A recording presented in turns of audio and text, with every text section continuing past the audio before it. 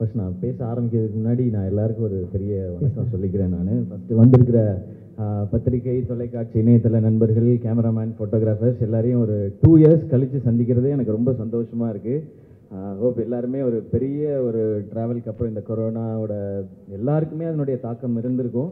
அதுக்கப்புறம் இன்னைக்கு எல்லோரும் திரும்ப வந்திருக்கோம். இதான் நியூ நார்மல்னு சொல்கிறாங்க இனிமேல் இப்படி தான் விழாக்கள் நடக்கும். அண்ட் படம் ரிலீஸும் இப்படி தான் இருக்கும் அப்படின்னு நினைக்கிறேன் நான்.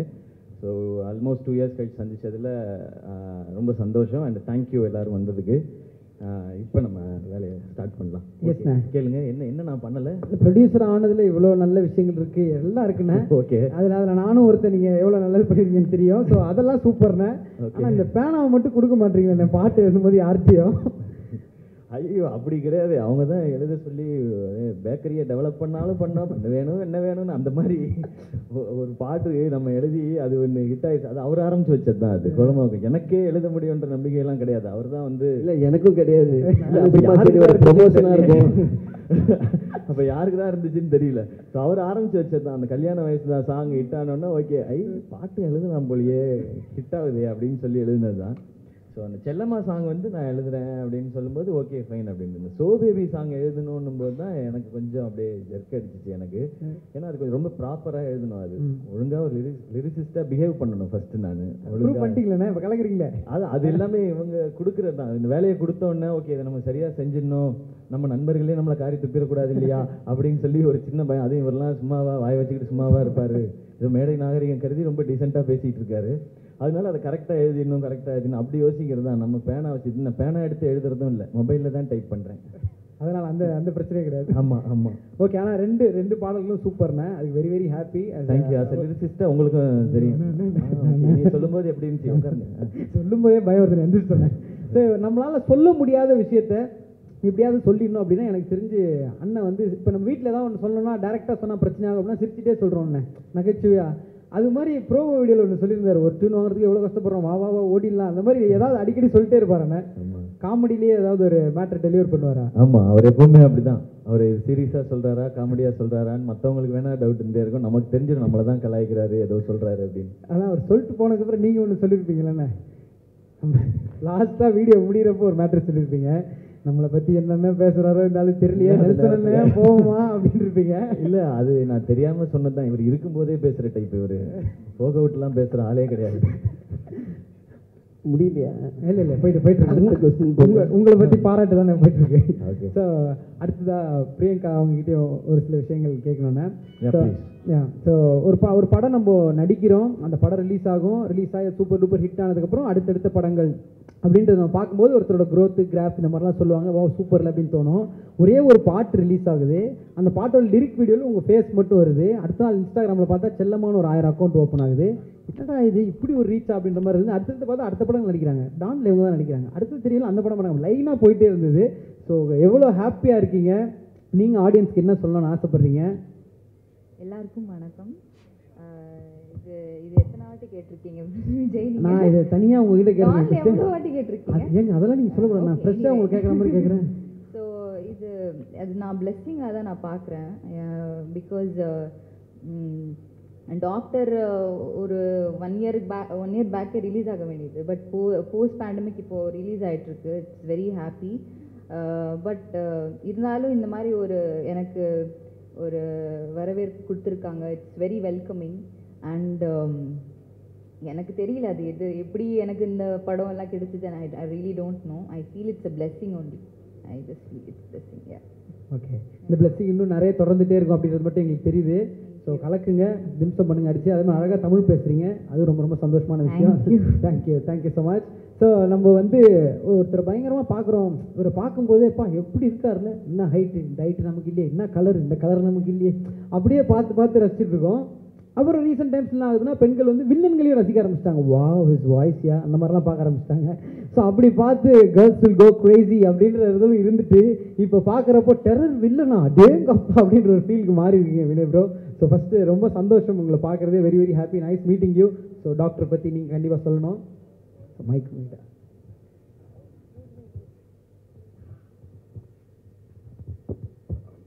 uh, எல்லோருக்கும் வணக்கம். thank you for your support of this movie. And um, uh, thank you, Nelson, Shiva.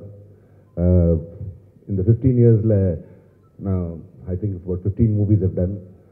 And all the good movies, I've always seen there's always been a great relationship between the actors and the directors.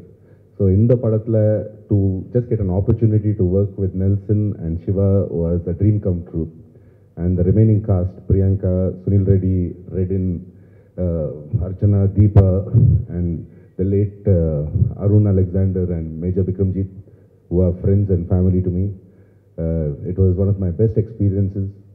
And more importantly ரொம்ப மெமரபுளாக இருந்துச்சு எனக்கு இந்த ரொம்ப challenging டைம்ஸில் இந்த மாதிரி எனக்கு வேலை கிடைக்கும்னு நான் யோ யோசிக்கவே இல்லை Uh, இந்த படத்தோட ப்ரொடியூசர்ஸ் ராஜேஷ் அவருக்கு அண்ட் கலைக்கு I want to say thank you so much for the opportunity it means a lot okay and thank you all for support again thank you thank you bro நீங்கள் நின்று அப்படி உயரத்தில் பார்க்குறவங்கள அந்த அளவுக்கு. Thank you thank you so much so ஒரு ஒரு சிலரை பார்த்தா ஒரு ஒரு பயங்கரமான ஃபீலிங் இருக்கும். இவரை பார்க்கும்போது எனக்கு தெரியும். ஒரு ஒரு பல கிரானைட் ஃபேக்ட்ரியோட ஓனர் எப்படி இருந்தால் எப்படி பல பல பலன்னு வருவாங்களோ அந்த ஃபீல்டில் தான் அண்ணன் எப்பவுமே வருவார். அண்ணா வணக்கம்ண்ணே உங்களை பற்றி தான் பெருமையாக பேசிட்டு இருக்கோம். ஸோ இந்த டீமோட அசோசியேஷன் எப்படி அப்படின்றத நீங்கள் சொல்லணும். வர்றப்பே பார்த்தேன் அவ்வளோ ஃபோட்டோஸ் அது எல்லாம் கேர்ள் ஃபேன்ஸ் தான். ஹலோ ஸோ எப்படி டாக்டரை பற்றி ஒரு ஒரு வார்த்தைகள் எவ்வளோ ஹாப்பியாக இருக்குது இந்த டீமோட நெல்சனோட ஒர்க் பண்ணுது. கண்டிப்பாக எல்லாருக்கும் வணக்கம். நான் உட்காந்து பேச கொஞ்சம் டென்ஷனாகவே இருக்குது எனக்கு. நீங்கள் டென்ஷனாவா பார்க்க தான் டெரராக இருக்குன்னு தவிர அது நெல்சன் சார் சொன்னார். நீங்கள் எது ரவுடியாக பண்ணுறீங்களா சாஃப்ட் கேரக்ட் பண்ணுறீங்களான்னு நான் ரவுடியாவா சரி ஓகே நீங்கள் எப்படி சொல்கிறீங்களோ அப்படி பண்ணுறீங்க அப்படின்னு. யாரோ ஃபஸ்ட்டு ஃபோட்டோ ஷூட் பண்ணார். பண்ணிவிட்டு க்ளீன் ஷேவ் பண்ணிட்டு போனேன்.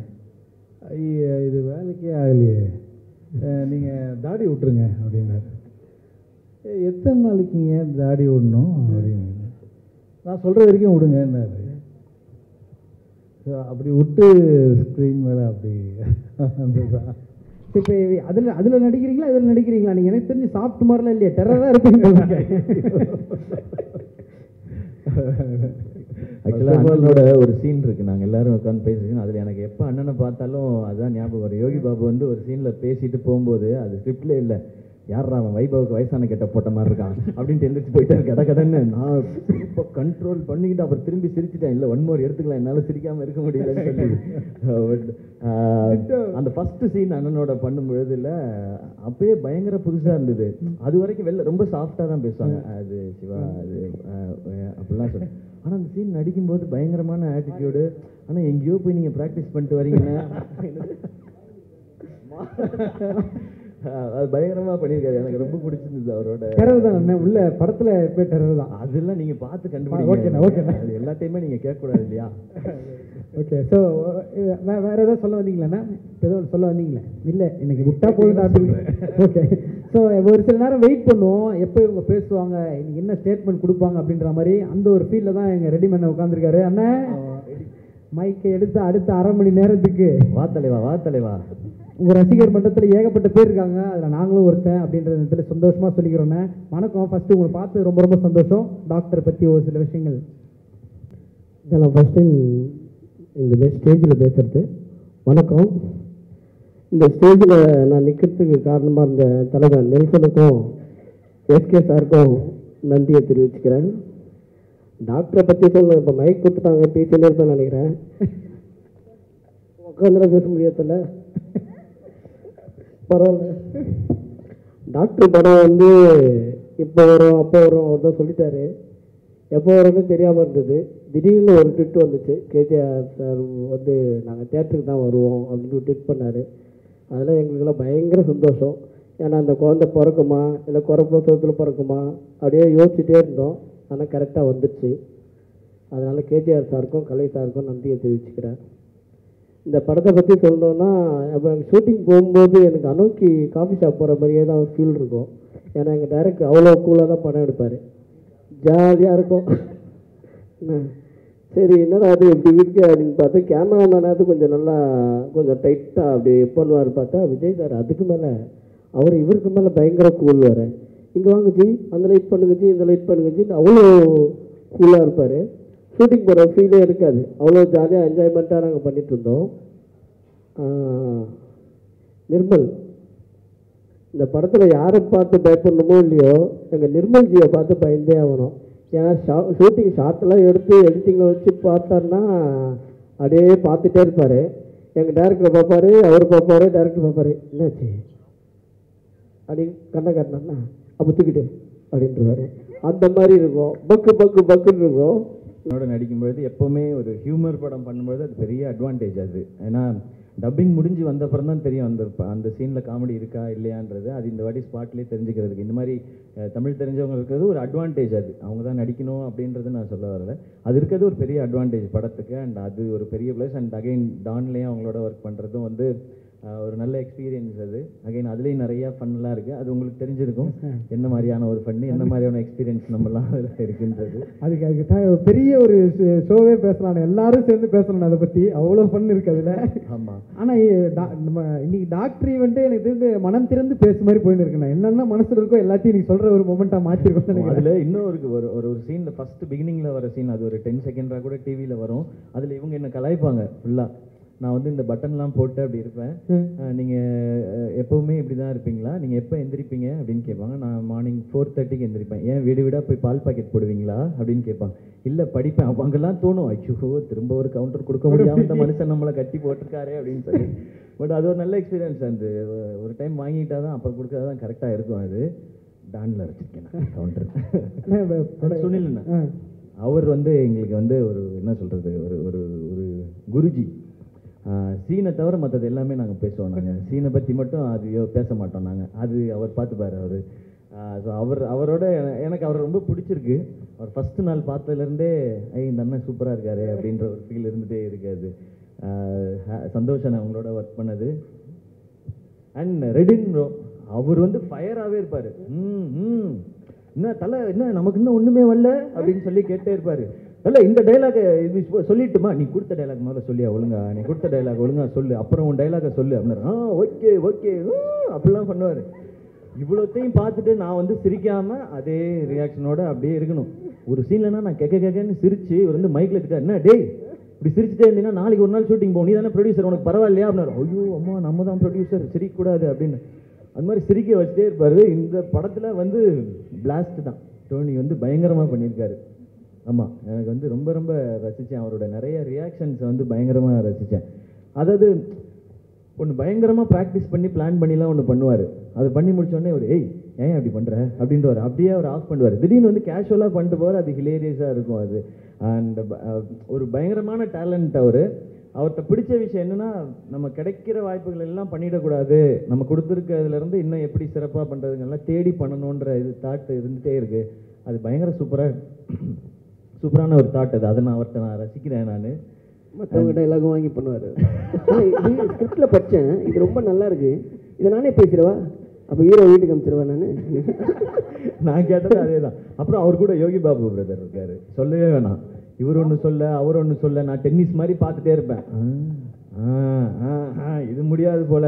அப்படின்னு எங்கே முடியும்னா அங்கே முடிஞ்சிடும் எடிட்டர் நிர்மல் இருக்கார் இல்லையா? அவர் முடிச்சுப்பாரு அதை.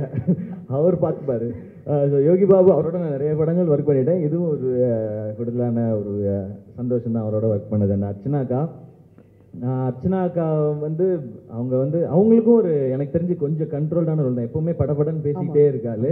இதுல இல்ல அதை பார்க்கும்போது நமக்கு ஒரு ஆறுதல். ஆ, அப்பா அடி. தேடி இருக்காருண்ணே. பேர் வாயையும் கட்டிட்டாங்க. அது வரைக்கும் ஓகே அப்படின்னு சொல்லி. அது அது ஒரு அது ஒரு மாதிரி பண்ணாது அந்த அஹ், அர்ச்சனா அக்காவோட மிக முக்கியமான பங்கு என்னன்னா எங்களுக்கு ஏதாவது ஈவினிங் சாப்பிட வாங்கி கொடுத்துக்கிட்டே இருக்காது ஆமா.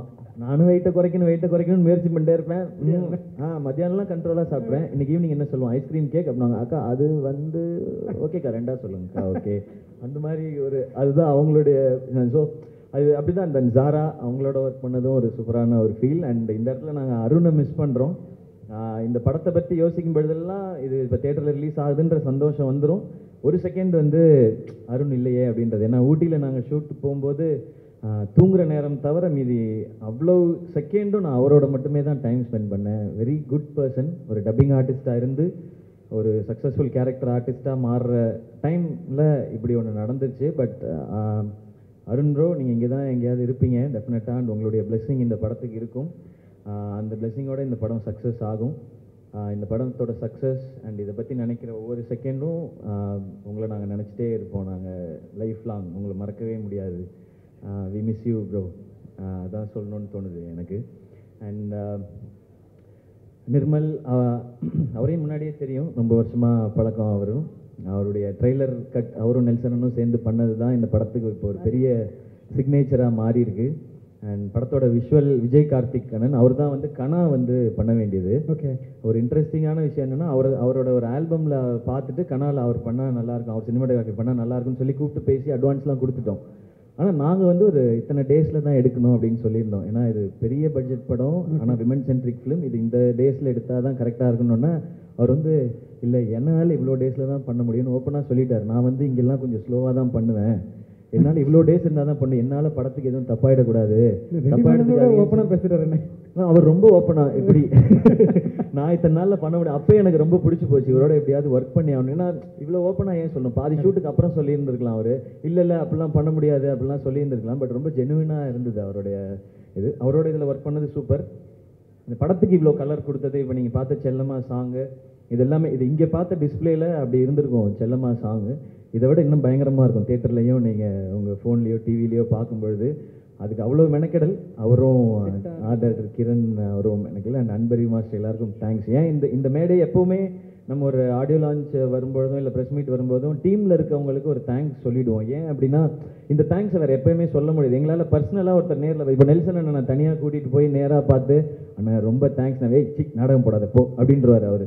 ஸோ இந்த மாதிரி மேடைகள் எடுத்தால் நாங்கள் எல்லாருக்குமே அந்த தேங்க்ஸ் நாங்கள் சொல்ல முடியும். அது ஸோ எல்லாருக்கும் பெரிய தேங்க்ஸ் அண்ட் அனிருத் ப்ரோ நீங்கள் வந்து அந்த சோல் ஆஃப் டாக்டர்ன்றதே வந்து நீங்கள் தான் ஆக்சுவலாக இதுக்கு வந்து உயிர் கொடுத்துட்டே இருக்கிறது எப்போவுமே ஆரம்பத்துல இருந்தே ஃபஸ்ட்டு டைட்டில் அனௌன்ஸ் பண்ணோம்ல.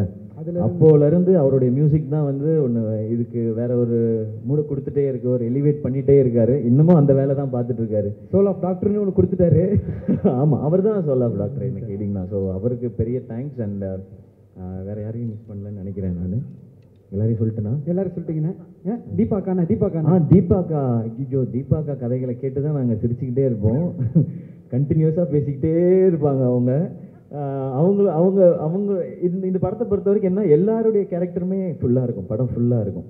இதில் நான் மட்டும்தான் ஃபுல்லாக வருவேன். அப்படிங்கிறது. அவங்க மட்டும்தான் அவங்க மட்டும்தான். அப்படி கிடையவே கிடையாது. எல்லாரும் த்ரூ அவுட் இருப்போம். எல்லா கேரக்டர்ஸும் சேர்ந்து என்ன பண்ணுது அப்படின்றது தான் இந்த டாக்டர் தீபாக்காவோட நடித்ததும் ஒரு சூப்பரான எக்ஸ்பீரியன்ஸ் ட்ரெயிலர் பார்க்கும்போது அதான் தோணுச்சுண்ணே. ஏன்னா பட பூஜைக்கு எல்லாரும் வருவாங்க சக்ஸஸ் பார்ட்டிக்கு எல்லாரும் வருவாங்க ஃபோட்டோ வரும். இந்த படம் மட்டும் தான் டே ஒன்லேருந்து ட்ரெய்லர் வரைக்கும் எல்லாரும் ஃபுல் சோஃபா போட்டால் பத்தலைங்க இன்னொரு மூணு போடுங்க அப்படின்ற சுச்சுவேஷன்லேயே போயிட்டு இருக்கோம் So இது முக்கியமாக இந்த இடத்துல எடிட்டர் அவர்களையும் நிர்மல் சாரையும் விஜய் சாரையும் ஸ்டேஜ் கூப்பிடணும். அண்ட் டார்லிங் ஜாராவையும் ஸ்டேஜ் கூப்பிடணும்னு ஆசைப்பட்றேன். அவங்கள மட்டும் இன்வைட் பண்ணிடலான்னு ஓகே ப்ளீஸ் ப்ளீஸ் ஓகே இளவரசண்ண உங்களுக்கும் thanks and Kalai bro photo போட்டு. அது அவருடைய ஸ்டைல் இல்லை ஆனால் எந்த ஒரு விஷுவலாக இருந்தாலும் சரிண்ணா பின்னாடி அனிப்ரோ மேலே ஏத்துறாரு இறக்குறாரு வால்யூம் வைக்காம வைக்காம எப்படி கேட்டாலும் பயங்கரமாக இருக்கு. ஆனால் பேசுகிற கேரக்டர்லாம் கிட்னி எடுத்திருக்கோம் பென்சில் பாக்ஸில் வச்சிடலாமா? அந்த அளவுக்கு எல்லாமே ஒரே டோனில் பேசிக்கிறாரு. அது அது உங்களோட ஸ்டைலாக அவருடைய ஸ்டைல் அவருடைய ஸ்டைல் அவருடைய ஸ்டைல் தான். இப்போ இந்த கடத்தல் அப்படிலாம் ஒன்று சொல்கிறோம்ல இப்போ இப்போ அருண் ராஜாக்கு வந்து கிரிக்கெட் ஆகணும்னு ஆசை ஆக முடியல. கிரிக்கெட்டை வச்சு படம் இவருக்கு ஒரு அந்த ஃபாரின் பக்கம் ஒரு பெரிய ஒரு அவர் அவர் யாரு? ஒருத்தர் இருப்பாரு எஸ்கே முடிங்க பேப்லோ எஸ்கோபார் எஸ்கோபார் எஸ்கோபார் ஆ அந்த மாதிரி ஆகணும்னு ஒரு ஆசை. அதை ஒரு படமா எடுக்கிறாங்க எஸ்கோபார் ஆகும்ல எஸ்கே ப்ரொடக்ஷனில் படம் பண்ணா சூப்பராக இருக்குமே. அந்த ஃபீல்டில் பண்ணியிருக்காருண்ணே எப்படி? ஏதாவது ஒன்று போனாலும் நான் எஸ்கோ இல்ல அவருடைய ஸ்டைலாக தான் நான் இதை பார்க்குறேன் நான். ஒவ்வொரு ஒவ்வொரு டேரக்டருக்குன்னு ஒரு சிக்னேச்சர் இருக்கும்ல. அது வந்து நான் இந்த கடத்துறது அதை சொல்ல வரல. படத்தோட டோன் இப்போ நீங்க அந்த பிளட் ஒழுக ஒழுக உட்கார்ந்து இருக்கும்பொழுது அந்த இடத்துல ஒரு கர்நாடிக் மியூசிக் ஒன்று வருது இல்லையா? இந்த மாதிரி அப்ட்ராக்டா விஷயங்கள் பண்றது வந்து அவருடைய ஸ்டைல் ஆனால் ஆனால் அது அதுக்கும் நிறைய பேர் கமெண்ட் பண்ணியிருந்தாங்கன்னா அதை இந்த இடத்துல மென்ஷன் பண்ணணும்னு ஆசைப்பட்றேன். அது அது நிறைய பேர் நிறைய ஜானரில் டார்க் ஹியூமர் அது ஒன்று ஒன்று சொல்கிறாங்க ஆனால் அதில் ஒருத்தர் அழகாக தெளிவாக போட்டிருந்தாரு. சீரியஸான விஷயத்தை கூட இப்படி சொல்லலாம். அதில் காமெடியும் சேர்க்கலாம். என்ன நீங்க சொல்ல வந்தீங்கன்னு எனக்கு புரியல. இன்னொன்று ஒரு விஷயம் சொல்லணும்னா உங்க வித் பெர்மிஷன் நிறைய அசிஸ்டன்ட் டைரக்டர்ஸ்ட்ட பேசும்போது டைரக்டரை பற்றி நிறைய சொல்லுவாங்க. அவர்கிட்ட கற்றுக்கலாங்க என்ன கொஞ்சம் திட்டுவார். அவர்கிட்ட அவங்க கொஞ்சம் கோவப்படாரு அப்படிலாம் சொல்லுவாங்க. ஆனால் ஒரு படத்தில் இருக்க சின்ன ஒரு ஒரு சீன் ஒரு ஆர்டிஸ்டாக இருந்தால் கூட அவங்க பயங்கரமாக பேசப்பட்டுலாம் பார்த்துருக்கோம். ஆனால் ஒரு டீமோட அசிஸ்டன்ட் டைரக்டர்ஸ் அதிகமாக பேசப்பட்டு நான் பார்த்ததுன்னா அது உங்கள் டீமில் தான் நினைக்கிறேன். ஏன்னா புரியலையே அப்படின்னு ஒரு வார்த்தைனா அது ட்ரெண்ட் ஆகும். உங்கள் டீமில் இருக்க யார் எது பேசினாலும் ட்ரெண்டிங் ஆகுது. அதே மாதிரி சாதாரண வார்த்தையை நீங்கள் சொன்னால் பயங்கர ஹிட் ஆயிருக்கு. வேற மாதிரின்றது ஆல்ரெடி இருந்த வார்த்தை தான். நீங்கள் சொல்லிட்டு போனீங்க இப்போ ஹேஷ்டேக் வேற மாதிரிலாம் ட்ரெண்ட் ஆகிட்டு இருக்கு ஸோ அது எப்படி? இப்போ குழந்தைக்கு பேர் வைக்கிறது கூட கொஞ்ச நாள் கூப்பிட்டுருவாங்கன்னு நினைக்கிறேன். நீங்கள் வைங்க ட்ரெண்ட் ஆகிடும் குழந்தை அந்த மாதிரி. பேர் சூட்டு விழா பை நெல்சன் அப்படி மட்டும் கூப்பிடாதீங்க அவர் எப்பவுமே ஒரு ப்ரிஃபிக்ஸ் போட்டு தான் ஆரம்பிப்பாரு எல்லாமே சென்டென்ஸும் குழந்தைக்கு அதை வச்சிருவாரு ஃபர்ஸ்ட் அது நீங்க கூப்பிடவே முடியாது வாழ்க்கை ஃபுல்லா அந்த குழந்தைய. அவர் தான் நீங்க மைக் கண்டென்ட் இங்க இருக்க வரைக்கும் டேஞ்சர் தான். இது வந்து மைக்கை வந்து ஃபர்ஸ்ட் மாத்துங்க அந்த பக்கம். இல்லை இல்லை இல்லை இப்போ அண்ணன் சொன்னதுக்கு நீங்கள் பதிலாக சொல்லணும். இப்போ நீ- சாதாரண வார்த்தையை உங்கள் மாடுலேஷனில் சொன்னால் ட்ரெண்ட் ஆகுது எப்படி? இல்ல இல்ல அது ஏதோ அது அதை எதுவும் பிளான் பண்ணி பண்ணல. சும்மா பேசணும். அது ஏதோ கொஞ்சம் ஆயிட்டு இருக்கு போல. மைக் போயிடுச்சு நான் பார்க்காதீங்க. மைக் இருக்கா இல்லையாங்க தானே பார்க்குறீங்க. Okay done thank you so அண்ணா நம்மளோட cinematographer Karthik. Okay part of this family part of this team ரொம்ப என்ஜாய் பண்ணேன். இவர் கூட வேலை செய்யும்போது. சிவா சொன்ன மாதிரியே எப்போ நீங்கள் ஷூட்டிங்கில் இருக்கும்போது நம்ம எப்போவே சிரிச்சுட்டே இருப்போம். And work was that memorable அது தவிர Ilavarasan sir and art director Kiran.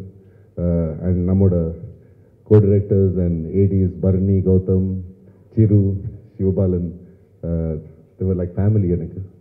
And அதுக்காக எனக்கு எனக்கு இது ரொம்ப ரொம்ப ரொம்ப பிடிச்ச and memorable team and film thank you I mean it from the bottom of my heart and shamelessly for the fifth time I'm asking Nelson and Siva அடுத்த படத்துக்கு எப்போ கூப்பிட போறீங்க? I miss you all guys a lot so thank you so much உடனுக்குடன் செய்திகளை தெரிந்து கொள்ள Sun News bell ஐக்கான கிளிக் பண்ணுங்க.